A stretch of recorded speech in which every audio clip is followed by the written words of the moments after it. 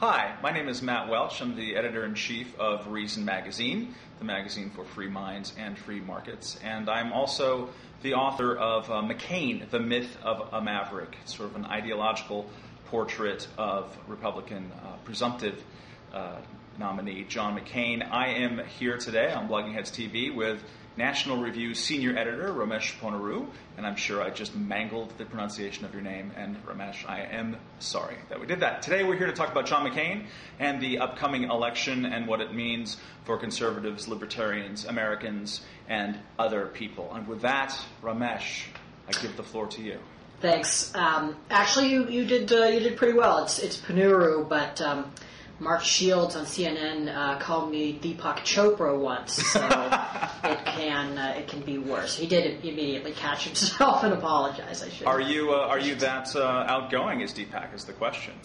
I, mean, I, I think of, uh, that uh, if you averaged out our bank accounts, um, well, it would probably make me cry. But anyway, let's talk about John McCain and your book, which is an interesting book.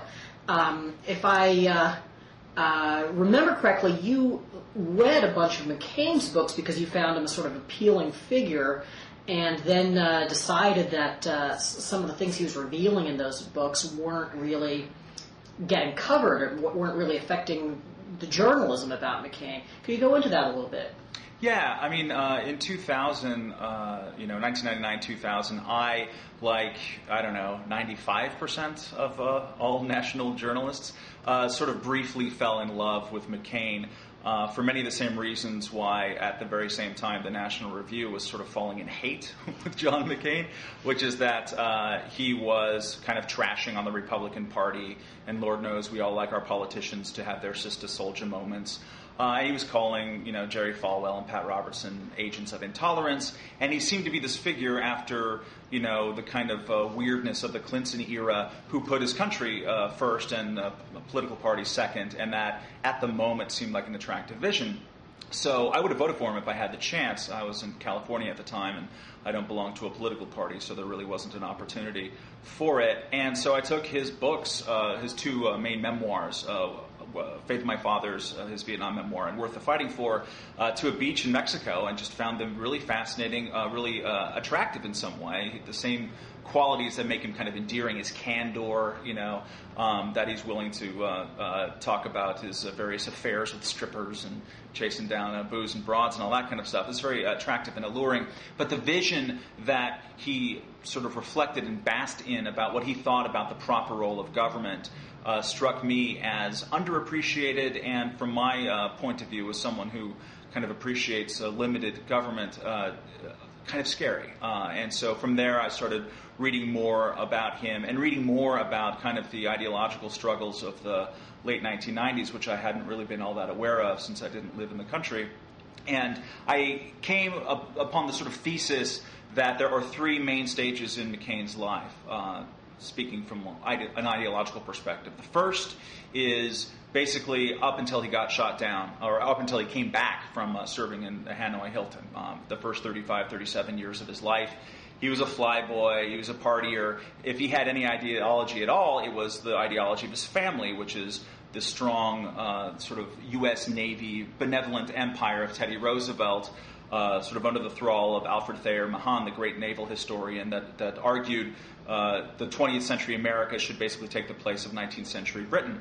But he didn't think about it uh, much other than that. He just marinated that and lived in that. Then when he comes home, he becomes more of a Vietnam syndrome, Powell doctrine type of guy where, uh, and at default, a Reagan Republican. He was a, a close personal friend of Ronald Reagan uh, from 1973 onwards.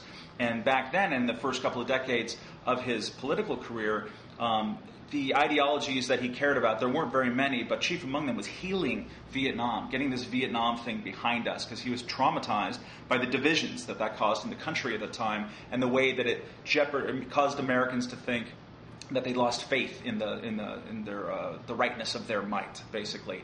Uh, and so he worked very hard at healing Vietnam, and he only had a couple of other stated interests in ideology. One, interestingly enough, uh, was that the executive branch needs more power vis-a-vis Congress to wage war and foreign policy.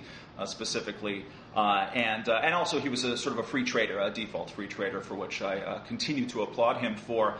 Um, but that's basically was the extent of his politics for the most part up until this third phase of his life 97, 98, 96, somewhere around there, uh, when he embraced this idea of national uh, greatness conservatism, which is a term coined by Weekly Standard, then Weekly Standard editors uh, Bill Kristol and David Brooks, that sought uh, a sort of to use the federal government as a way to sort of remoralize America at the time so that we all have great faith in the higher institutions of government, then we can get on with the business of being great. And that manifested itself in basically losing the uh, reticence that he had had about using American force. He went from being a guy who in 94 said, you know, having American boots on the ground in Bosnia is the worst thing that he could imagine in the world, to the guy in 99 who was the biggest single advocate for putting boots on the ground in Kosovo. And since then, he's sort of reverted to this more Teddy Roosevelt style ideology. And it also had many implications for domestic policy, which he suddenly took an interest in, the sort of great reform, you know, going after the malefactors of great wealth and so on. And I think uh, just because the context of the 2000 election is so different than our context now, that we forget about that. It's it, for uh, for most Americans. I, I mean, uh, it was all about campaign finance reform, getting money out of politics, but people didn't really realize the extent to which he was the neoconservative choice against George W. Bush. Uh, he was making noises that should make, I think, some many conservatives and certainly libertarians uncomfortable about how we all need to, you know, uh, subsume ourselves under the higher power of kind of American national unity. Uh, I think, and I argue that that is uh, the McCain that we have to this day. And the question is, after eight years of George W. Bush, uh, is that what America needs now, or was it ever what America needed in 2000? And I uh, should emphasize again that's some of the best writing about this and interesting thinking about this um, that I was able to draw from came from the National Review. Came from Rich Lowry uh, in 2000 and Jonah Goldberg, uh, people who, uh, you know, as Jonah put it, uh, national greatness is an agenda derived almost entirely from an increasingly incoherent cult of personality. Um, and uh, I would argue that there's some element of that to this day, which makes me feel kind of reticent about uh, John McCain.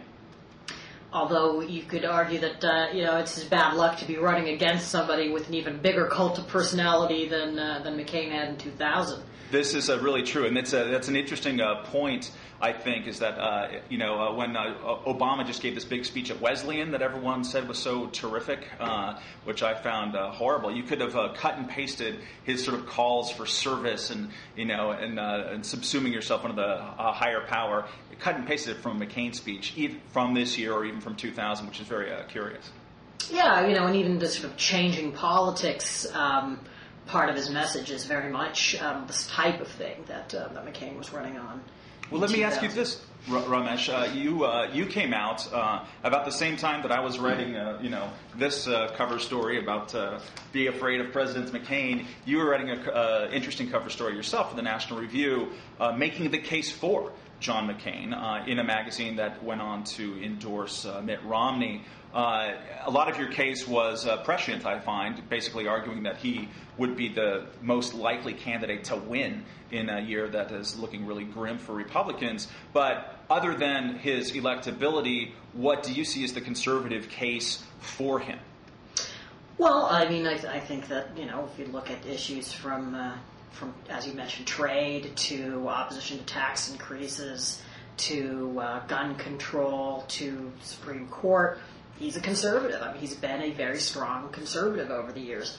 And there are certainly issues where he has um, not been a conservative. Most of them are things that I frankly don't care about. Um, you know, things like drilling in ANWR. I mean, I think he's probably wrong on the issue. I don't think it would you know really have a huge impact either way, and uh, and uh, I can live with a, a, presidential candidate who's wrong on that issue. Um, there are some you know there are some other areas of concern. Um, uh, that are that are more important. I mean, I think that um, the, the way he's chosen to fight global warming um, is uh, is wrong-headed. That's actually something. When I wrote my initial endorsement, I was more in the uh, my mood on that issue was a little bit more pro McCain, and that I was I was sort of annoyed with how many conservatives were simply denying that global warming existed, and so I was actually willing to to give him credit for being a little bit more uh, forward looking than them. But um, but since then, I've, I've uh, been thinking about it more, and I think that the, the way you know the, the extremely heavy regulation um, that he wants to uh, deploy against the pro- problem is uh, is a problem.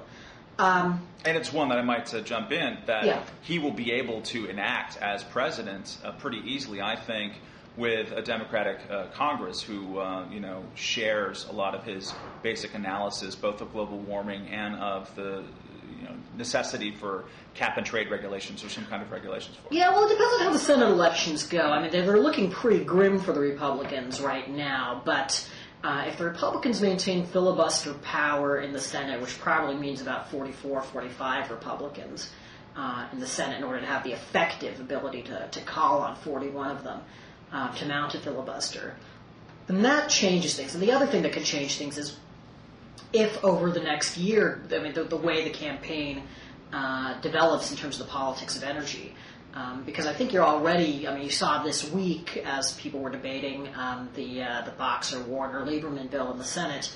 Um, you saw a notable um, increase in fear among Democrats that maybe this isn't the best time to uh, to be having a big initiative that raises the price of energy. Right. But you mentioned earlier about uh, McCain sort of being a conservative on yeah. stuff like guns and abortion he doesn't care about any of that, does he? I mean, the stuff that he cares about uh, is more, uh, you know, this year, this time around, yeah. the transcendent issues, uh, big foreign policy, and uh, the sort of, you know, broad sense of uh, of uh, restoring faith in America. In, in, the stuff that he cares about, what makes him a conservative, if anything? Well, you know, uh, we should take a step back. I mean, I tend to have a pretty coolly transactional view of uh, of politics, and you know, I don't need my candidates really to care about the same things that I care about, um, so long as I can count on those candidates to uh, to you know live up to the commitments. Um, in terms of the things that uh, uh, that McCain cares about, um, I think he cares a great deal about spending, um, cutting spending. Um, he cares a, a, a, good deal about um, free trade. Uh, he cares about, uh, as you say, the foreign policy issues, where you know I think he's um, not. Well, I mean, we may as well just get into this foreign policy debate. I mean, I think yes. Uh, I think that his vision on foreign policy is considerably more neoconservative, more gung ho about um, the use of force to promote democracy abroad than I think is uh, is wise or prudent. Um, but he also, I mean, I think if you look at his cast of advisors, um, you can see the lingering influence of, uh, of the realism that he adhered to for most of his career. And I don't think that it's so bad to have a mix of realism and neoconservatism. But in who's the realist? Policy. Who's well, the realist? People like Kissinger, people like like hey, Peter Kissinger is not close to him in any meaningful sense. I mean, he uh, puts him on speed dial when he needs to try to make the case to the New York Times mm-hmm. that he's an Eisenhower Republican, which he seems to be very insistent on trying to uh, hit home. And I don't think that he is an Eisenhower Republican in any meaningful sense. I mean, the people around him who he talks to and who he takes sustenance from, I don't think there's a realist in that crowd. I mean, Randy Scheunemann is not a realist by any stretch of the imagination, and the people that McCain has been most tune, attuned with over the last 10 years. I don't think it's been, a, it's, it hasn't been Brent Scowcroft, you know. Uh, even in these sort of articles in the New York Times and elsewhere that try to posit that he is, you know, that there's a war for McCain's yeah. foreign policy soil uh, soul, uh, you find that your Mark Salters, your Scheunemann says, you know what, there is no war. Uh, our side won. So I, I, think it's kind of a lingering, uh, you know, desire for the media to believe. Well, that he's, you know, uh, that his heart is in the right place in some way. Keep in mind, though, that before 911, the chief neoconservative foreign policy enthusiasm, and this includes the period, you know, the, the last 10 years of McCain, 1999, 2000, 2001, their chief enthusiasm was um, hostility to China, and their big, the biggest sort of plank of their platform was to suspend normal trade relations with China. And McCain does not appear to have given that campaign a, sort of even a moment's thought, and it was just completely on the other side of it from day one. And the other thing is, and this is a sort of a trickier question. I've been actually thinking about this in the context of Obama this week making his reversal on Middle East related issues, particularly Iran, before AIPAC, you know, and whether he's actually going to have these unconditional talks. And, you know, I'm sort of not sure which Obama to believe because I just think actually being in the presidency tends to, to change these people. I mean, clearly it changed President Bush uh, along with September 11th. Um, I wonder how it would affect Obama. And I also think, you know, McCain, whatever sort of uh, ideas he might have as to sort of the global mission of the United States, there's going to be a fairly fairly tight capacity constraint. I well, not if he gets his president. Not if he gets his way. I mean, I, I agree with you that there's that presidents change. Once, I mean, everyone campaigns in a certain sense on a humble foreign ch- policy and yet a, a, certain toughness towards China and blah, blah, blah, and then they become the president, and, and lo and behold, you know, they discover uh, their history books and they'll invoke the Munich appeasement at every opportunity. It just sort of happens that way, and they'll make their accommodation with China. But in almost every one of those cases, the starting point is one of sort of a, a comparative reluctance to uh, to you know in, inflict themselves in the world, and it ends up being more interventionist as it goes on. In McCain's case, he's starting from that point of uh, sort of bellicosity or interventionism, or you know, to put the, the most positive spin on it, possibly possible that you know he just thinks that there should be one benevolent kind of hegemon in the world, and that the world will be a much better place. That probably squares more with his beliefs than anything else. But uh, I don't think that the direction that that can go is to suddenly lessen what he believed going in, because in almost every case, once a president gets in office, they look around and they say, you know, why, why do we have this, you know, marvelous military that we keep uh, hearing so much about? And McCain is, you know, his platform is to we need to increase the troop size by 150,000 troops.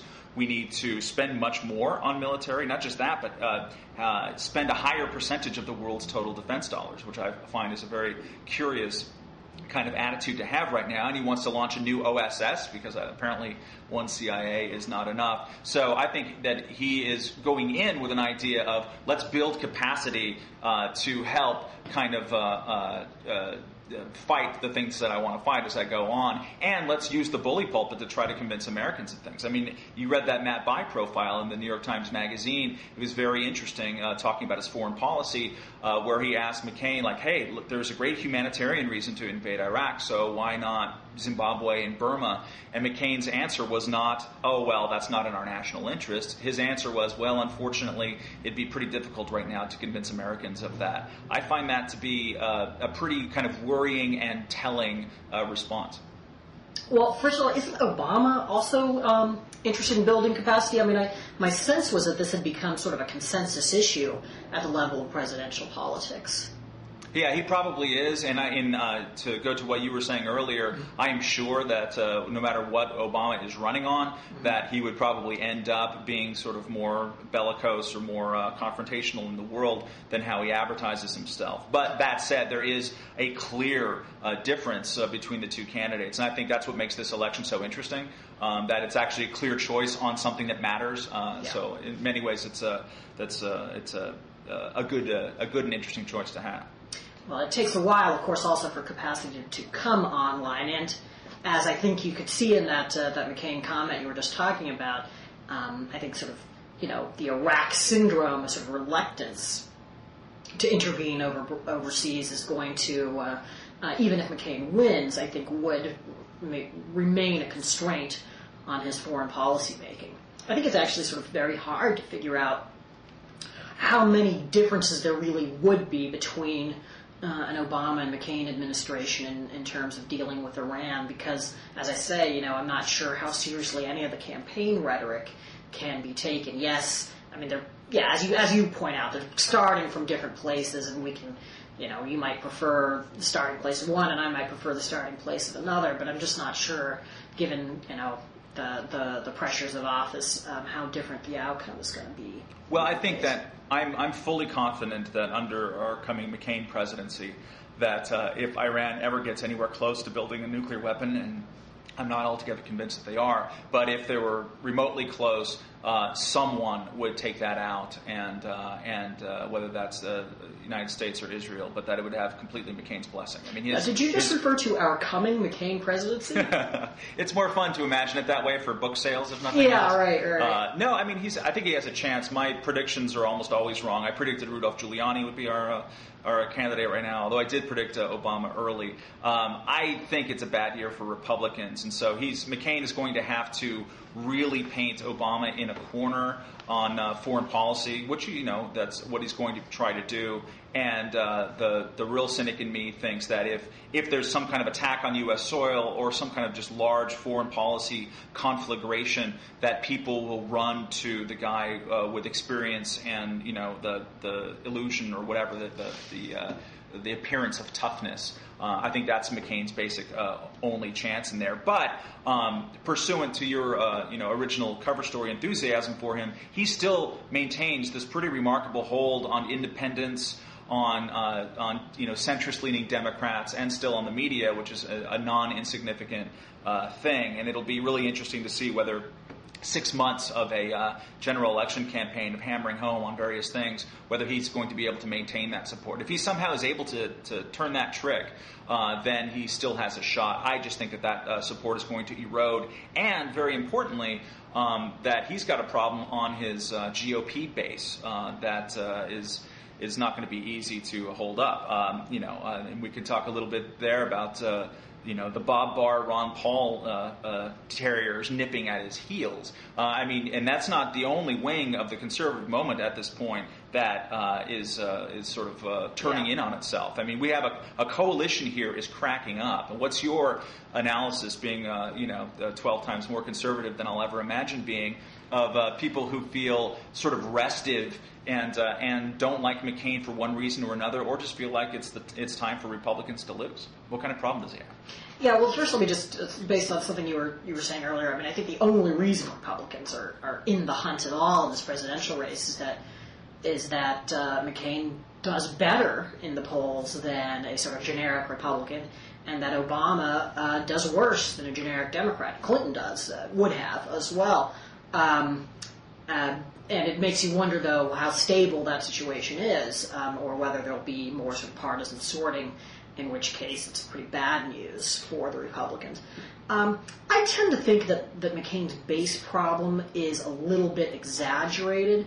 Um, I think we should bracket off the Libertarians um, because their appeal is is not you know, not entirely to the base. It's also, you know, there's a component of it that's that's that tends to be more democratic leaning, and so it's a little bit more unpredictable that way. I would think that the only element of the base that um, uh, that is really worrisome for McCain that won't come home at some point is uh, single issue anti-immigration voters. Um, and I'm not sure how many of those there are. I mean, I don't mean to say that just to, sort of minimize numbers. I mean, I just ge- genuinely think it is hard to gauge how many of those folks there are.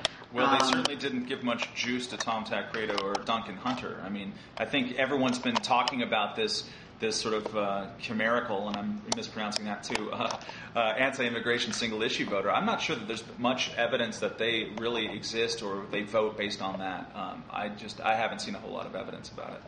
Yeah, I mean, I think you could make the argument actually that a relatively, so to speak, liberal position on immigration helped McCain win the nomination because he, he effectively clinched the nomination in Florida, um, where he and Romney split um, white uh, Republican primary voters, and he beat Romney five to one among Hispanic voters. And um, you know, pretty clearly, I think the uh, immigration issue was one of the reasons for that.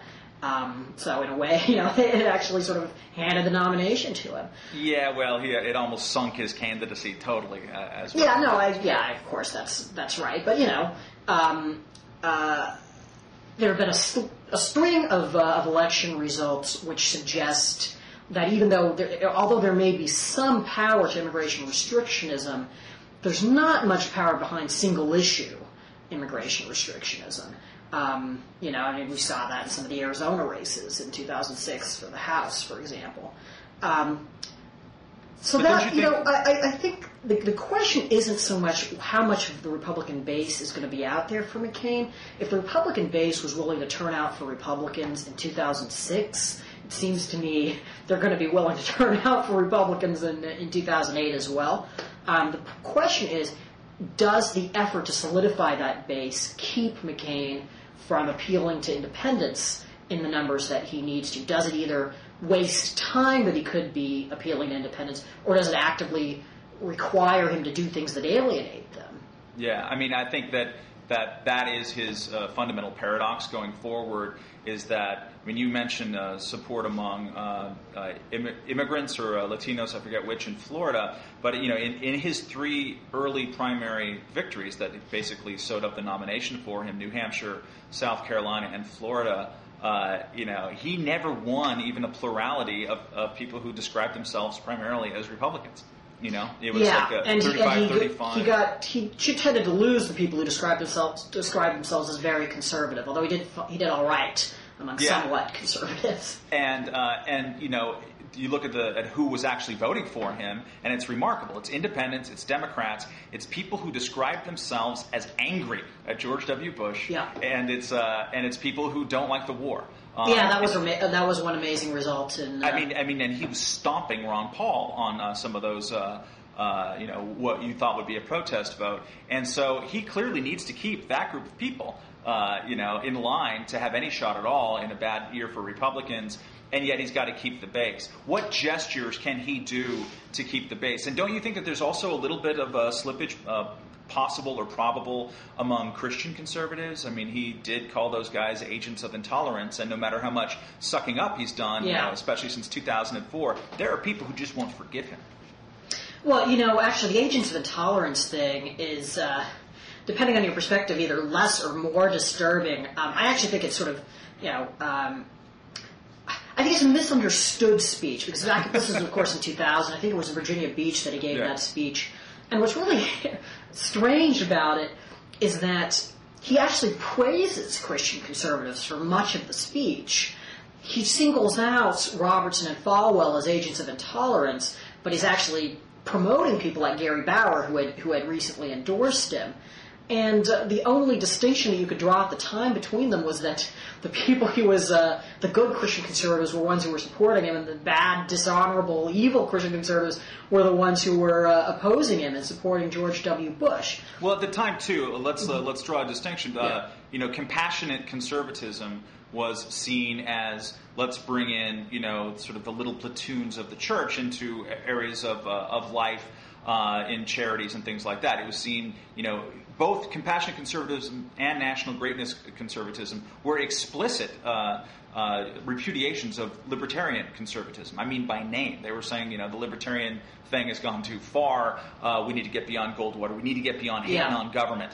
Uh, and so the and it was well understood. There was these fights between like Marvin Olasky and uh, and uh, uh, William Kristol and stuff, where compassionate conservatism was sort of the Christian ideal, and national greatness was about the state. It was a, a moral or moralizing based on sort of the secular state, which is uh, so there was yeah. some tension uh, built into the whole project between uh, McCain and the Christian right, which he, you know, famously described as neither on a couple of occasions. Well, but, every uh, every attempted innovation on the right, um, from Buchanan to Bush to McCain, has been a a response to the perceived weakness of the anti-statist um, elements of the conservative coalition. I, mean, I think one really interesting thing, and I think it's sort of accelerated over the last few years, but I think it's been present for quite some time now, is that both parties have been downplaying or turning away from their libertarian aspects and uh, and um, and really sort of putting more emphasis for political reasons on their anti-libertarian aspects. And I think you could you can make a pretty strong case that the Democrats have been uh, uh, downplaying their social liberalism. They certainly did, I think, in the 06 elections and that uh, Republicans have been running away from sort of the Gingrichite, uh, uh, anti-statist elements um, of, of, their message. And at the same time, we're in a period in Washington, especially where you have this this feeling of a, of a Reagan coalition that's exhausted, and people are trying to you know uh, join one of the uh, pillars once and for all and point the finger of blame at others. And you hear a lot of people, and even McCain on some time, uh, some occasions will say, you know, the Republican Party has lost its way. We've become a big government party. Um, it's interesting. I think you see more people suddenly claiming they're inner libertarian than you did, uh, you know, certainly three or four years ago. Uh, and uh, it'll be interesting to see how that plays out. But I think it's no accident at all that uh, you know this year and last year uh, the sort of uh, the split off group from the conservative coalition have been libertarians. I mean, libertarians basically been taking it on the chin for a while now. I think it was a uh, it was a man named Ramesh Ponnuru who said uh, like you know the limited government revolution aspect of the Gingrich revolution lasted about nine months. yeah, and, that's uh, right. That was the, the big government cutting uh, binge, which of course didn't really cut all that much even uh, even then, although it's depicted in hindsight sometimes as though it was some sort of anarchist riot. But that's a that is a potent grounding, in my analysis at least, uh, uh, something that uh, you know conservatives can feel about themselves. Yes, this is a, a, system of principles that we think make the world and the country a better place, a freer place, a more dynamic place, and it's really nowhere to be seen too much in the modern Republican coalition. Uh, although I must say, as someone who just wrote a book that's pretty critical about McCain, uh, that McCain, uh, starting around South Carolina, he made some noises uh, drawing parallels or like connections between limited government and like what Americans can do with their sort of freedom and the, the, genius of liberty that he almost has never done in his political career. I think it's an it's an interesting response to what I think is the fact that Obama and Democrats this year have vaulted to the significant economic left of even where John Kerry was in 2004. Oh, absolutely. Much more hostile to trade,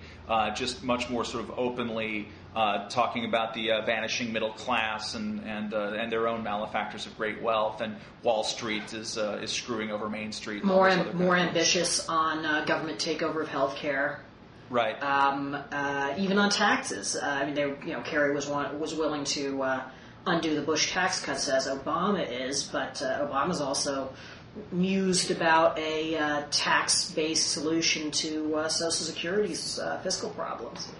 So, so um, let me let me ask yeah. you this: Who does uh, who does McCain need to name as vice president if you believe that vice presidency matters to any uh, degree in an election, which I think is under some dispute. But uh, in order, like, what should be his thinking in picking a vice president from your point of view? Yeah.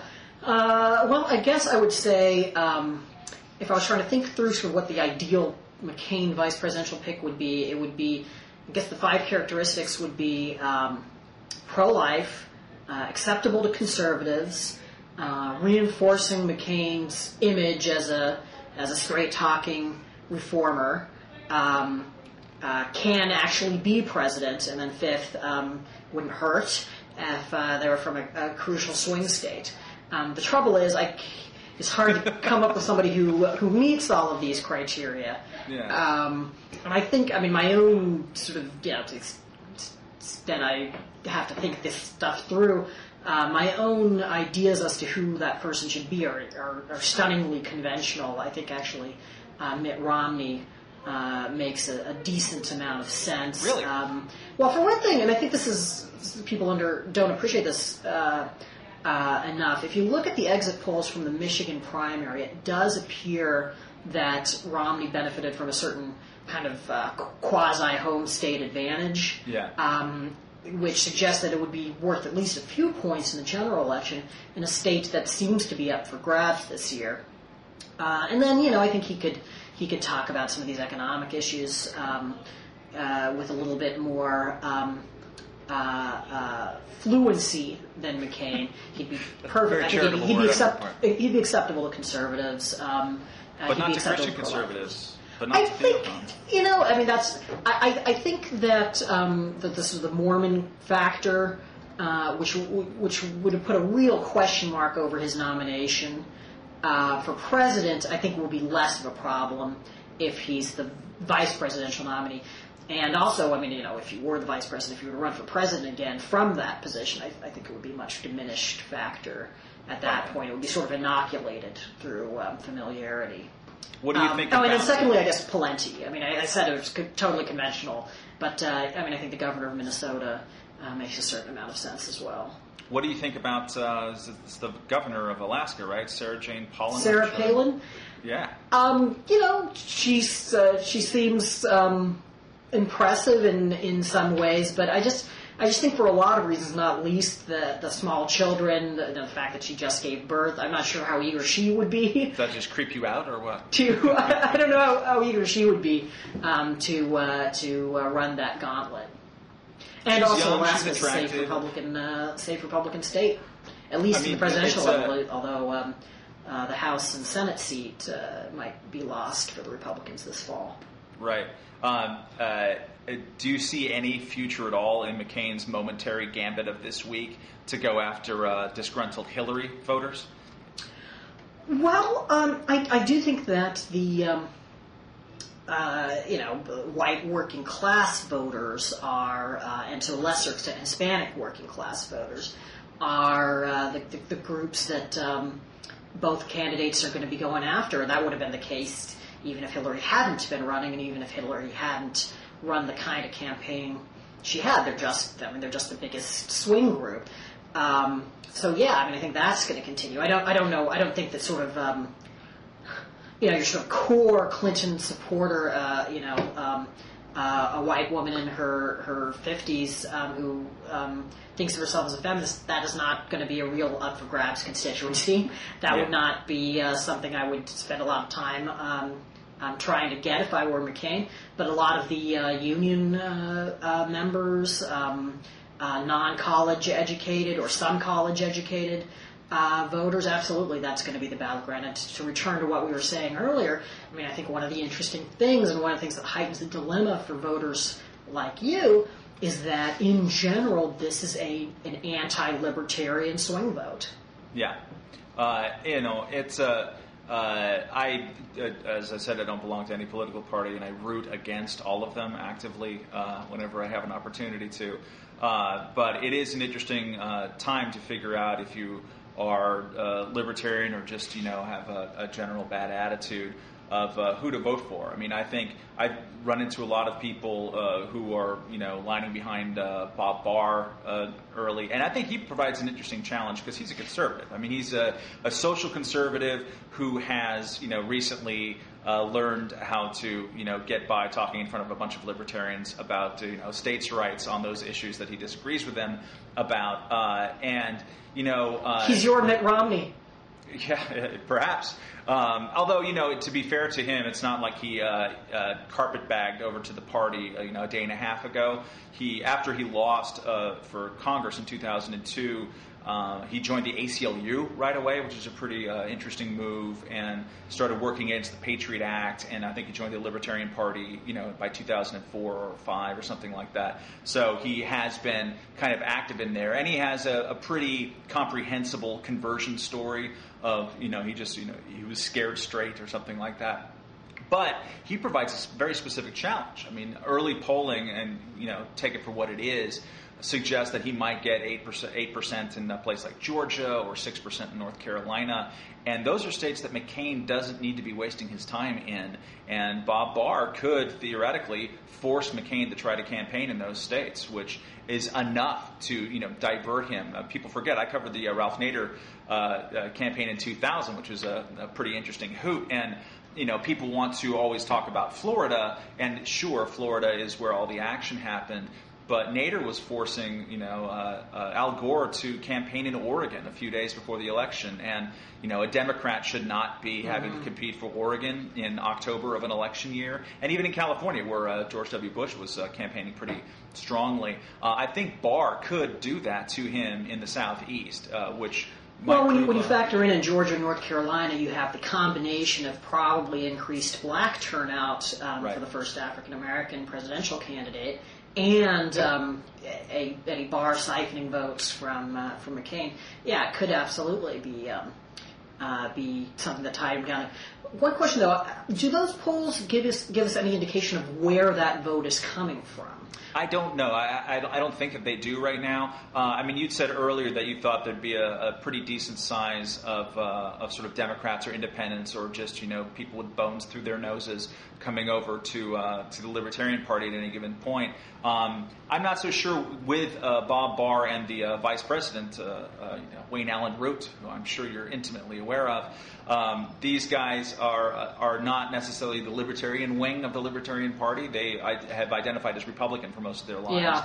and they were even, you know, uh, sort of traditional Republicans in certain ways. So I think that at least well, and in a year of liberal enthusiasm for the Democratic ticket, you know, some of the bleeding there should be should be stopped, I suppose. Yeah, I mean, they'll have a certain discipline that Republicans had in 2000. I mean, once the enemy has the uh, keys for eight years, uh, lo and behold, uh, you're not going to be so tempted to go the other way. And Nader, let's uh, not forget, I mean, he got 2.7%, I think, of the vote, and it would have been a lot more, closer to 5%, I think, because all the polling had it towards around 5%, if the election itself hadn't been so close. A lot of, uh, you know, older progressives you know, uh, went back to Gore at the last minute because they're scared, uh, and rightly so, of George W. Bush. Uh, and I just wonder if, uh, you know, is there a great proposition left for a libertarian Republican within the Republican Party? I mean, what what are you guys offering uh, a libertarian uh, Republican at this point? Well, I suppose you know we're offering, or they are offering. it's you. Well, I, I don't have anything to offer anybody, uh, I'm afraid. But uh, um, oh, I think I think uh, what uh, what Republicans offer uh, libertarians is pretty much you know as has always been offered. You know, free trade, low taxes, um, less regulation, and uh, when it comes to spending. Um, under McCain, I think there's a chance of a renewal of the idea of spending restraint. Um, and of course, you know, that comes with pretty much all of the traditional downsides um, that uh, Republicans uh, have uh, to give libertarians as well. What uh, let's uh, let's uh, sketch out a what might be a nightmare scenario to you, and it might be very interesting to me, or at least interesting to watch, a, la a train wreck. So we assume that there's going to be a wipeout in the Congress. You know, maybe there'll be a filibuster ability among Republicans. But no matter what, they're going to lose ground in the Senate and the Congress, I think, barring some weird incident. Uh, if McCain loses, and especially if he loses big, which is also possible, I don't, I don't sure. call it probable. Um, so it's basically a Republican wipeout right. in November. What happens? to the Republican big tent? How does it reassemble itself? Uh, you know, what kind of purging or, or non-purging? And you know, and let's say that uh, Bob Barr swings a state uh, and makes it worse uh, what happens to the defecting libertarians? Are they rounded up and shot, or are they like you know? Uh, we should have listened to you. Um, you know, what happens in your analysis to uh, the Republican Party and, and the uh, Grand Reagan Coalition? Uh, there's a, there's a free for all. Um, I think that the most likely outcome, even under those under a scenario where you know you can let's let you know, let's say you could even argue that say a libertarian cost the Republicans the presidency. I still think that the net effect would be more um, that the Republicans would move in a less libertarian direction on economic stuff, not that they would move left on uh, the social issues. Um, I just don't think. I mean, I, I, think both in terms of you know the, the relative strength of, uh, of you know, the elements of the party, and also just looking at the map and who where the votes can be gotten. Um, I think that's probably just where where things would go. I mean, you could make a case that um, libertarian candidates cost the Republicans uh, quite a few Senate seats over the last decade in Washington State, Nevada, uh, in Montana. Um, but the effect of that has not been to make the Republican Party a more libertarian party, and the reason is that um, y- you know maybe you I mean, it, it, may be that you could claim back some of that 2% that defected uh, to, the, to a third party, but the price of what you'd have to do to get them back would cost you too much support elsewhere. I mean, that is, you know, I look, I think the, you know, if you look at the uh, the the survey that um, uh, David Boaz or the, the, papers that David Boaz and David Kirby have written about the right. libertarian vote and its declining affection for the Republican Party. One of the things that really strikes strikes you is that um, libertarian support for George W. Bush fell dramatically between 2000 and 2004, while obviously Bush's total vote increased. And then yeah. again, between although there's less statistical significance here, between 04 and 06, libertarians actually seem to go toward the Republican Party, while the rest of the electorate was fleeing in droves. As long as libertarians are a minority of the electorate um, that seems to move in the opposite direction of the rest of a majority of the electorate, I just I just think that there are limited. There's obviously limit to uh, to how successful they can be. My uh, my feeling is that people are libertarians who don't care about politics and who would never describe themselves as libertarians. Uh, it's something Nick Gillespie and I have been arguing in various uh, formats.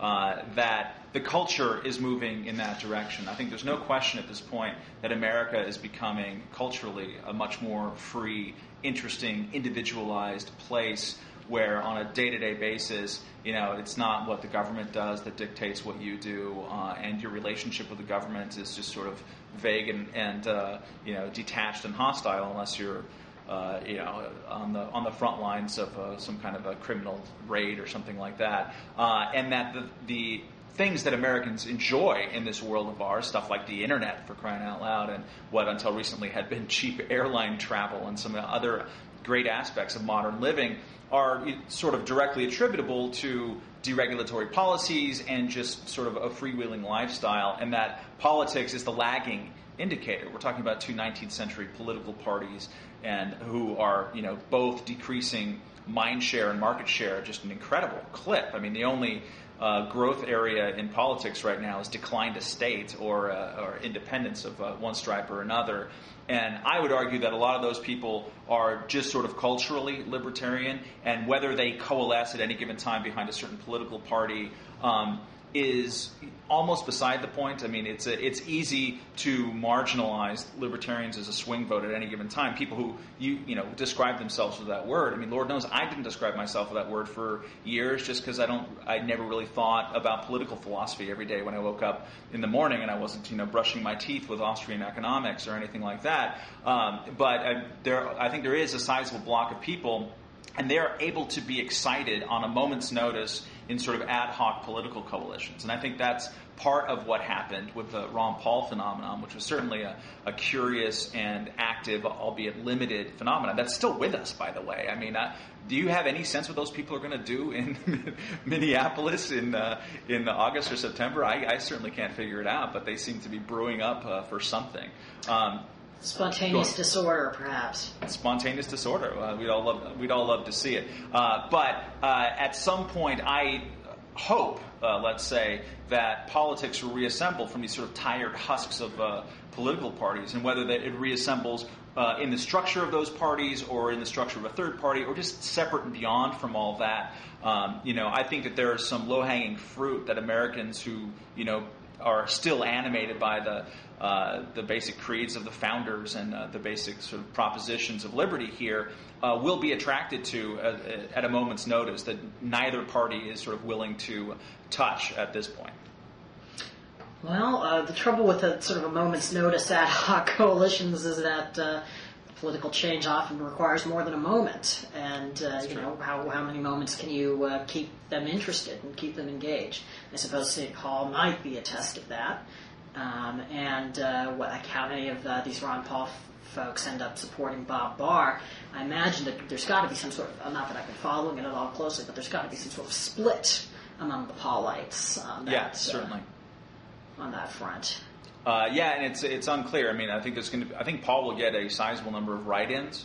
Whether they'll be counted in any meaningful way is another question, I guess. Uh, I don't actually know how the uh, electoral law works state by state on that, but uh, uh, his supporters are, uh, you know, the core of them can be strong enough so that, you know, they're just going to write him in. They're going to try to cause some mischief uh, with the GOP or, or just try to, to bend the GOP back in a direction of sort of individualized uh, liberty that it, it doesn't uh, even really try to talk about too much. But going back to our friend McCain yeah. now, um, tell me your uh, tell me your uh, like rosy scenario about how he could make uh, great president? Uh, well, I think, uh, you know, one thing is he would be a, a very, very useful check on a, uh, uh on a Democratic Congress that is, uh, that is more liberal than any previous Democratic Congress. Um, I would like to see him appoint one or two more conservative Supreme Court justices.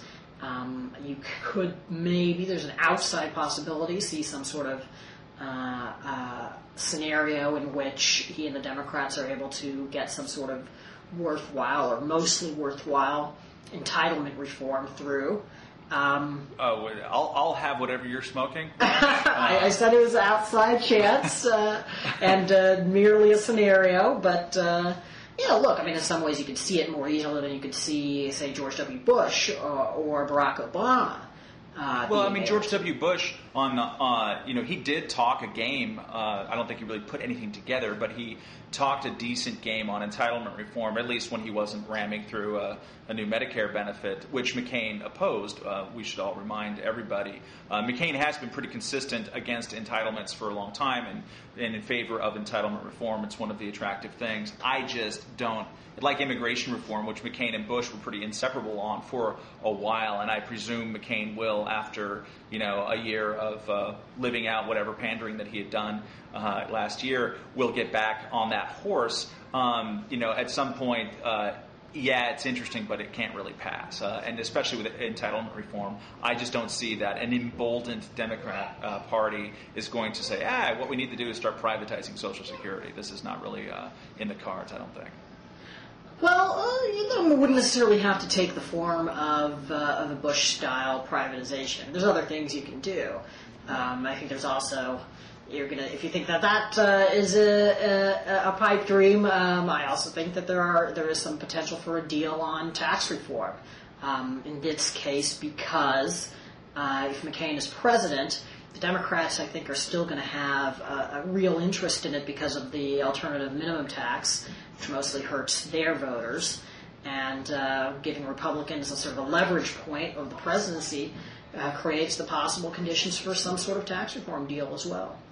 Uh, now let's talk about the nightmare scenarios. Sure. Uh, which uh, for me would be uh, one is just a, sort of an increasing belligerence or bellicosity in foreign policy I just don't think that that is the direction that uh, we need to go in. But even on the domestic stuff, I imagine that no matter what happens in a McCain presidency, would come up with some big uh, climate change reform that would be probably semi disastrous in its applications. And I only say that based on his track record. Uh, his McCain has this uh, uh, approach towards reform uh, which is very sort of cookie monster. Uh, you know, I see problem, must fix problem, which is one reason why uh, editorial. Oh, that was good. Thank you. I'll, Can you babysit? I'm here all week. Uh, where uh, it's, uh, uh, I think that's why editorial boards love him, is because they have the yeah. exact same approach. Basically, it's not right. really thought through. It's not based on any kind of principle about what the limitations of government should be, which I don't think really McCain has a sense of that. Um, so it's those areas of potential cooperation with a Democratic majority yeah. that, in many ways, uh, kind of worry me the most.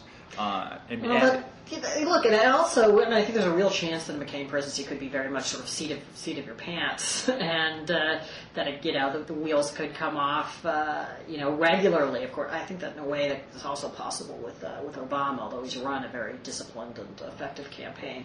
Sure. Um, you know, and I guess I sort of my sort of bigger concern would be uh, that it, you know, even that if he wins, it ends up being sort of just the last gasp of any lingering conservative coalition that that it just completely falls apart by uh, by the end, um, both because of his errors of omission and commission.